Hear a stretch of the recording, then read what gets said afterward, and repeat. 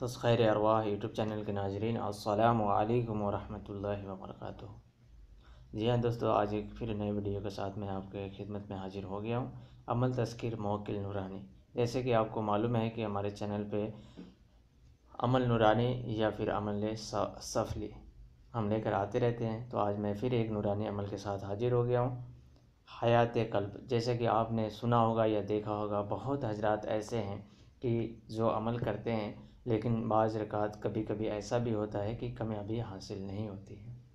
لیکن اس عمل کی خاصیت یہ ہے کہ ایسے حضرات کے لیے یہ بہت ہی کمال کے عمل ہے۔ یہ عمل صرف اکیس روز کا ہے، کوئی لمبا نہیں ہے۔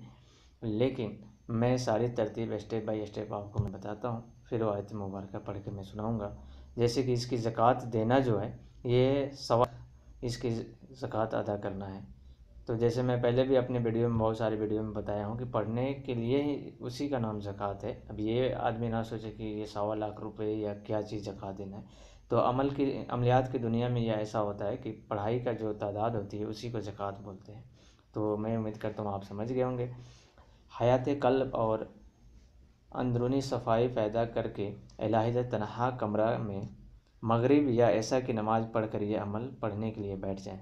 اور خوشبو جلائیں اور پھول چمیلی کے تازہ روز مرہ اپنے پاس رکھیں۔ اور اس آیت کو اکیس روز تک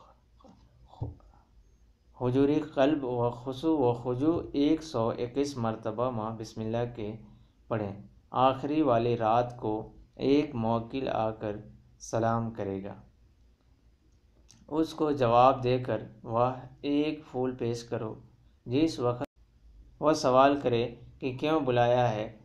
کہو، ہمارے یہ ضرورت ہے، اسے فوراً کر کے لاؤ پس وہ حکم بجا لائے گا۔ وہ آیت کریمہ کون سی ہے؟ میں آپ کو ساتھ میں اسکرین پہ بھی دکھاتا ہوں اور میں پڑھ کے بھی سناتا ہوں آپ کو۔ بسم اللہ الرحمن الرحیم۔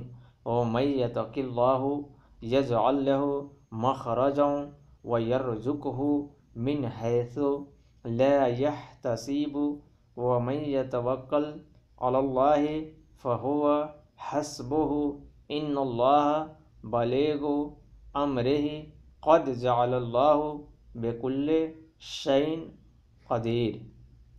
جی ہاں دوستو، ساتھ میں میں یہ بھی بتاتا چلو جن کی صفائی قلب نہیں ہے، تو ان حضرات کے لیے جس شخص کو حیات قلب حاصل نہ ہو، وہ تسخیر موکل کی نیت سے اکیس روز میں سوا لاکھ مرتبہ آیت مذکور بلا پڑھیں، انشاءاللہ کامیاب ضرور ہوگا۔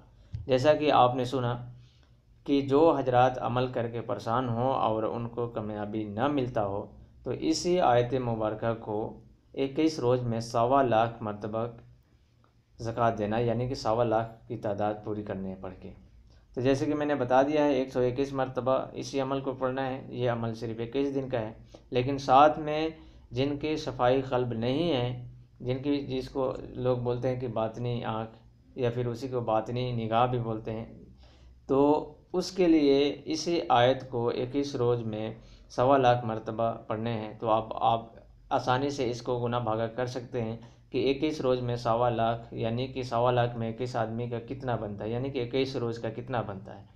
تو آپ آسانی کے ساتھ یہ کر سکتے ہیں۔ میں امید کرتا ہوں آج کا ویڈیو آپ کو اچھا لگا ہوگا۔ پھر کسی نئے ویڈیو میں ہم آپ سے ملتے ہیں۔ تب تک کے لیے اللہ حافظ۔ فی امان اللہ۔